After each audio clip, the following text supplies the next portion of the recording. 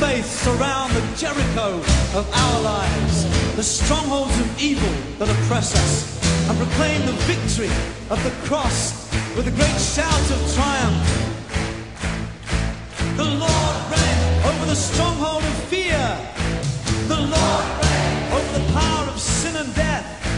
The Lord reigns over the strongholds of disease. The Lord reigns over tyranny and injustice. Hatred and division.